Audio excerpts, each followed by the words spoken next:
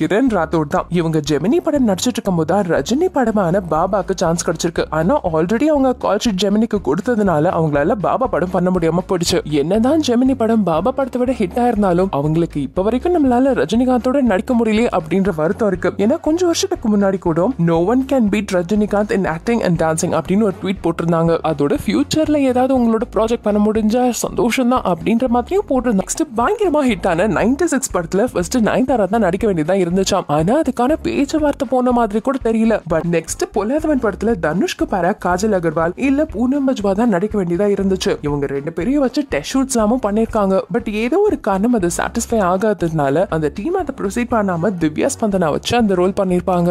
Next Sivaji படத்துல Tamil Selvi role ரொம்பவே homely character அப்படின்றதுனால சங்கர் ஃபர்ஸ்ட் ஸ்னேகாவை தான் அப்ரோச் பண்ணிருக்காரு பட் ஏதோ ஒரு காரணத்தினால அவங்களால எல்லாத்துல நடிக்க முடியாம போயிடுச்சு. அதுக்கப்புறம் தான் ஸ்டே ஆன் போர்ட் ஆனாங்க. அடுத்து நம்ம எல்லாரோட ஃபேவரட்டான சில்லுன்னு ஒரு காதல் படத்துல பூமிகாவோட ரோல் அசின் தான் பண்ண வேண்டியதா இருந்துச்சாம். அவங்க ஃபர்ஸ்ட் அக்செப்ட் பண்ணியிருந்திருக்காங்க. பட் இதுல எனக்கு நடிக்கிறதுக்கு பெருசா ஸ்கோப் இல்ல அப்படின்னு சொல்லி டிராப் பண்ணிருக்காங்க அவங்களுக்கு மூணு பாட்டு உங்களுக்கு மட்டுமே தரேன்னு சொல்லியும் அதை அவங்க டினை பண்ணிருக்காங்க இந்த படத்துல அசின் கேரக்டர் மட்டும் டிராப் அவுட் ஆகல. இந்த படத்தை நிறைய ஹீரோஸ் கிட்ட சொல்லிருக்காரா இன்க்ளூடிங் சூர்யா. இவங்க எல்லாருமே ரிஜெக்ட் பண்ணதுக்கு அப்புறம் சரி ஒரு ஹீரோயினான நம்ம ஜோதிகா கிட்ட சொல்லி பார்ப்போம் அப்படின்னு சொல்லி ட்ரை பண்ணிருந்திருக்காரு. ஜோதிகா கதை கிட்ட உடனே டேரக்டர் கிட்ட ஓகே சொல்லிட்டாங்களா. அப்புறம் என்ன? சூர்யாவும் உடனே ஓகே சொல்லிட்டா. இது மாதிரி அசின் மிஸ் பண்ண இன்னொரு படம் என்னன்னா பில்லா. ஷாஷாவா இவங்க டெஸ்ட் ஷூட்லாம் கூட எடுத்து முடிச்சிருக்காங்க அஜித்தோட. ஆனா டேட் இஷ்யூனால இந்த படம் இவங்களால பண்ண முடியாம போயிடுச்சு. இந்த போட்டோஸ் எல்லாம் பார்க்கும்போது உண்மையுமே அசினுக்கு இந்த கேரக்டர் நல்லா சூட் ஆகுதுல அடுத்து நீங்க மணிரத்னம் ஃபேனா இருந்தீங்கன்னா அவரோட படத்துல இந்த படம் ஒரு ஹண்ட்ரடுக்கு செவன் டுவெண்ட்டி பர்சன்ட் கூட இல்ல.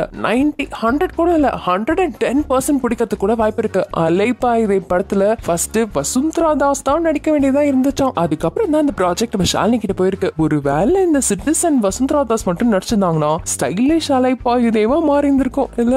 அடுத்தது சந்திரமுகி படத்துல சிம்ரன் தான் ஃபர்ஸ்ட் நடிக்க வேண்டியதா இருந்துச்சான் ஏன் ரெண்டு நாள் ஷூட்டிங் கூட பண்ணாங்களாம். ஆனா சிம்ரன் பிரெக்னெண்டா இருந்ததுனால அவங்களால அதை கண்டினியூ பண்ண முடியல. இது ரொம்பவே ஸ்மால் பட்ஜெட் படமா தான் எடுக்கணும்னு நினைச்சாங்களாம். கடைசியில இந்த ப்ராஜெக்ட் ஜோதிகா கிட்ட போனதும் ரஜினிக்கு சுத்தமா நம்பிக்கையே இல்லையா? இந்த பொண்ணு சும்மா சப்பி தொப்பியான ரோல்லாம் பண்ணும் இந்த பொண்ணு அந்த கேரக்டர் பண்றதுக்கு வாய்ப்பு இல்லைன்ற மாதிரி தான் இருந்திருக்காரு. ஆனா ஃபைனல் ரிசல்ட்டை பார்த்து ஷாக் ஆயிட்டாரா நெக்ஸ்ட் தேவர் மகன் படத்துல மீனா தான் ஃபர்ஸ்ட் ரேவதி கேரக்டர் பண்ண வேண்டியதா இருந்துச்சாம். ஆனா கால் ஷீட் பிரச்சனைனால அவங்களால அது பண்ண முடியாம போயிடுச்சு. அடுத்து சுப்பிரமணியபுரம் படத்துல ஸ்வாதி கேரக்டர்ல ஃபர்ஸ்ட் காதல் சந்தியா தான் நடிக்க வேண்டியதா இருந்துச்சு அவங்களும் ஏதோ ஒரு காரணத்தினால விலகிட்டாங்களாம். நெக்ஸ்ட் நம்ம சமந்தா ரிஜெக்ட் பண்ண லிஸ்ட் என்னன்னு பாக்கலாம் ஏன்னா இவங்களுக்கு மட்டும் லிஸ்ட்னு சொல்றேன்னா சமந்தா அவ்வளோ படம் ரிஜெக்ட் பண்ணிருக்காங்க. அது ஒவ்வொன்றுக்கும் வெவ்வேறு காரணங்கள் இருக்கு. அதெல்லாம் என்னென்ன படம்னு பார்த்துலாம் கடல் படத்துல கௌதம் கார்த்திக்கு ஆப்போசிட்டா ஃபர்ஸ்ட் சமந்தா தான் நடிக்க வேண்டியதா இருந்துச்சு. லாஸ்ட் மினிட்ல தான் டேட்ஸ் ப்ராப்ளம்னால அவங்க அந்த படத்துல இருந்து விலகிட்டாங்க. அடுத்து எவடுன்ற ராம்சரனோட தெலுங்கு படத்துல இவங்க தான் நடிக்க வேண்டியதா இருந்துச்சு. ஆனா இவங்களுக்கு உடம்பு முடியாததுனால அந்த படத்துல இருந்து விலகிருக்காங்க ஷங்கரோட ஐ படத்துல ஈமி ஜாக்சன் ரோல்ல ஃபர்ஸ்ட் சமந்தா தான் கமிட் ஆயிருந்தாங்க. அது அனௌன்ஸும் பண்ணிட்டாங்க. பட் ஏதோ பர்சனல் ரீசன்னால அவங்க இதுல இருந்து விலகிட்டாங்க.